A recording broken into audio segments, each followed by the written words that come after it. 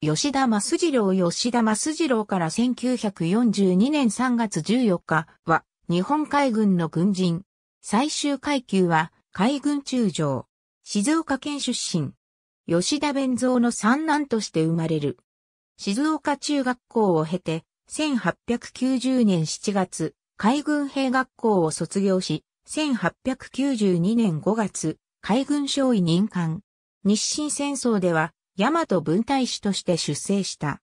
吉野分隊長、第一水雷艇隊艇長、軍令部長法下員、同第三局員、同第二局員、法官、陳編官長などを経て、1902年1月、新国公使館付となる。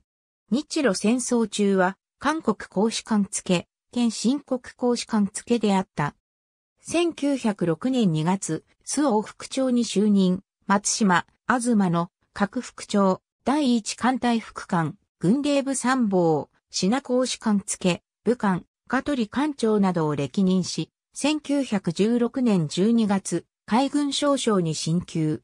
第一次世界大戦に臨時南洋軍統防備隊司令官として出征した。